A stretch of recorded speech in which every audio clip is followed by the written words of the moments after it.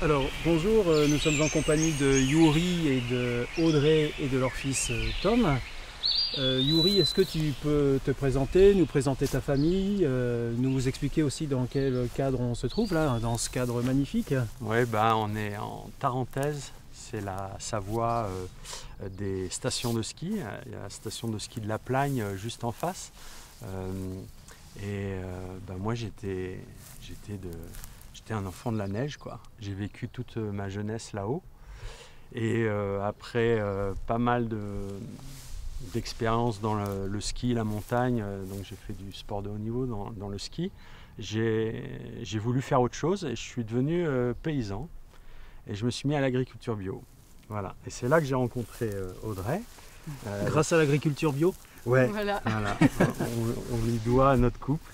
Donc euh, c'est important pour nous. Et, euh, et puis d'ailleurs, ça a fait des petits fruits, dont le plus beau, euh, c'est mon fils Tom. voilà. Euh, Il y a aussi ma fille, mais là aujourd'hui, elle est chez sa nanny. Voilà.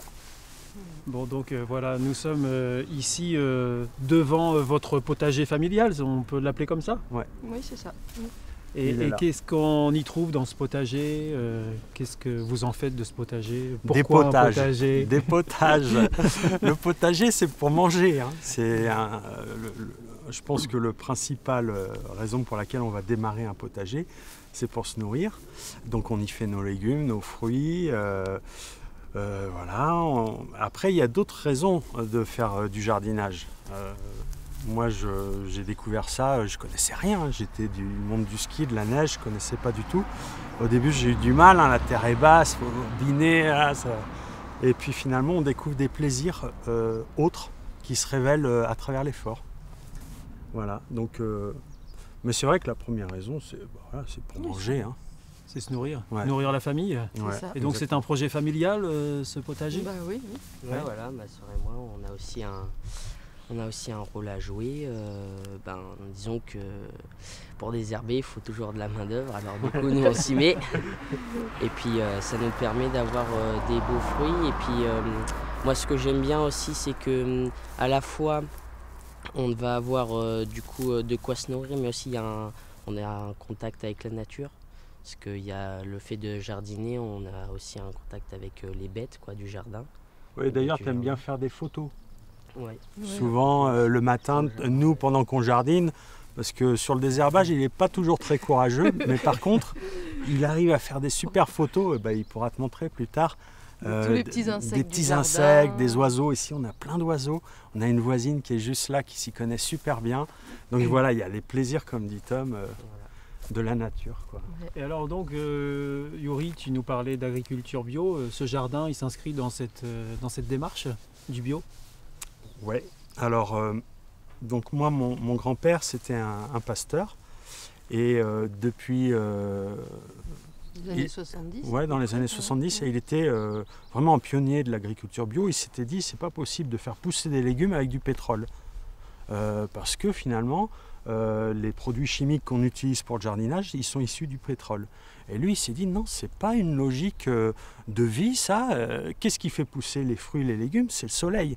Et, lui, vraiment à cette époque qui était l'époque de la révolution verte, où on commençait à découvrir les produits chimiques, tout ça, c'était extraordinaire. Il suffisait de passer un produit chimique au sol et d'un coup, toutes les mauvaises herbes disparaissaient. Et, et lui, il s'est dit non, non, ça, ça ne peut pas marcher. Et il, a, il est rentré dans ce mouvement qui était un peu émergent de l'agriculture bio. Et, euh, et on le prenait pour un fou, hein. on, on disait complètement fou. Même nous, euh, même quand moi je me suis lancé dans les années, avant les années 2000, ben, La bio n'était pas tant répandue. hein. ah non, la bio, c'était pas répandu. En fait, ça émerge que depuis quelques années. hein. Il n'y a pas si longtemps que les gens s'y intéressent vraiment. Et toi, Audrey, donc euh, tu, tu as fait découvrir l'agriculture bio à, à Yuri, si j'ai Ah bien non, compris. C'est l'inverse. C'est l'inverse Bah moi j'ai rejoint la ferme euh, justement de son grand-père quoi, dans le sud de la France. Et c'est là que j'ai découvert euh, l'agriculture bio dans cette famille quoi, et dans cette ferme. Et donc euh, tu t'es euh, Enfin, ça m'a tout de suite impliqué plu, aussi oui, dans oui, cette démarche. euh, et Ouais, tu mais elle, tu c'est notre formation au départ Elle, c'est notre ça. cuisinière en fait. Ah, Tu vois, moi, je, je suis plutôt sur la partie je, je produis les, les fruits et les légumes. Voilà. Et moi, je les Audrey, cuisine. elle les cuisine et mon fils les mange, tu Chacun- vois. Chacun son rôle dans la famille. Voilà. Chacun son rôle dans la famille. Donc oui, c'est vrai qu'après, euh, moi je m'y suis intéressée en tant que mère de famille, surtout. De, à partir du moment où j'ai eu des enfants, je me suis posé la question de ce que j'allais leur donner à manger quand même. Quoi. Et donc c'est vrai qu'on était déjà dans cette démarche-là, hein, mais pour moi c'était primordial de les nourrir avec quelque chose de vivant et, et de sain. Quoi. Donc en fait, euh, ce que je vous propose, c'est qu'on puisse passer au jardin. Ouais. Et euh, donc à la période où nous sommes, c'est-à-dire euh, en automne, euh, on est dans une période où il faut préparer le jardin pour, pour l'hiver, pour qu'il passe bien Voilà. l'hiver. Voilà, et c'est pour ça ça, qu'on est content que tu viennes aujourd'hui, parce que tu vas nous filer un coup de main. Il y a faut- bien du travail. Il y a du travail, euh, on prépare le jardin à hiverner. Bon, il y a encore quelques productions là, euh, mais c'est vrai qu'il y a déjà eu quelques gelées. On est, ici, on est à 1000 mètres d'altitude. Euh, donc, euh, on a quand même eu déjà 2-3 gelées.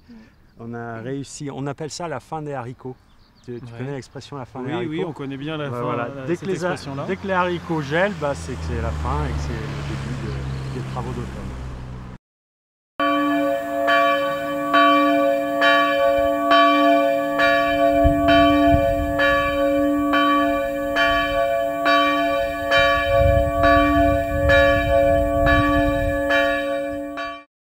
Ce qu'on n'a pas encore dit, c'est que votre jardin, euh, vous avez une démarche particulière puisque euh, vous appliquez la technique de la permaculture dans votre jardin.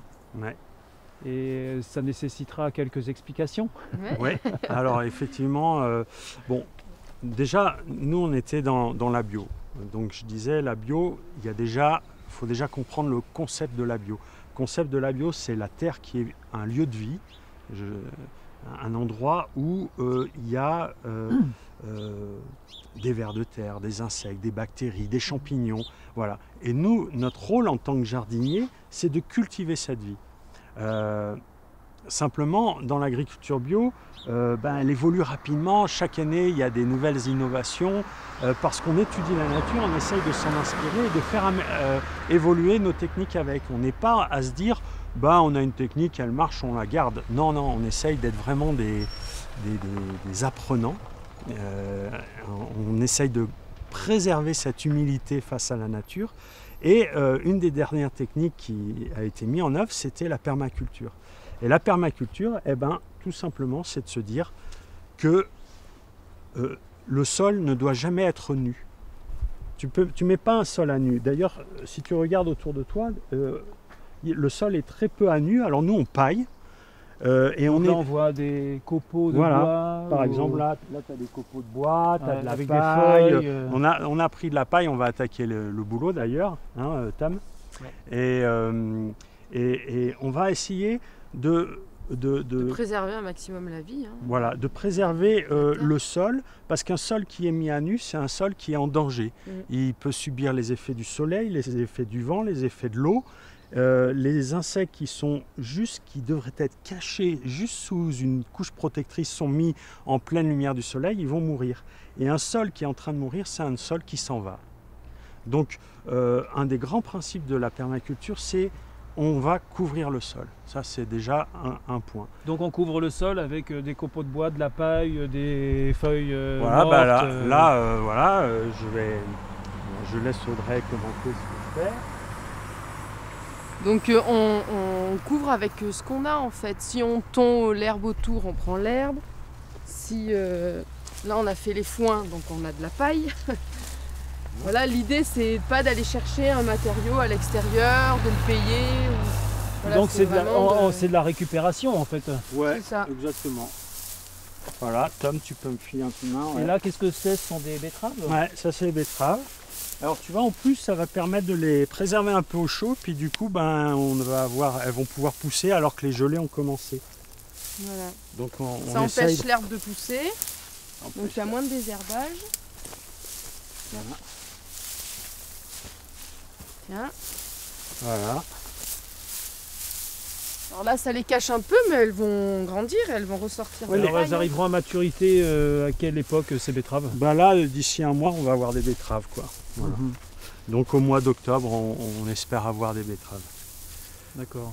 Euh, bon, après, c'est toujours un pari, hein, l'agriculture. hein. Tu fais quelque chose, tu sais pas si ça va réussir, mais, euh, mais voilà, la plupart du temps ça réussit.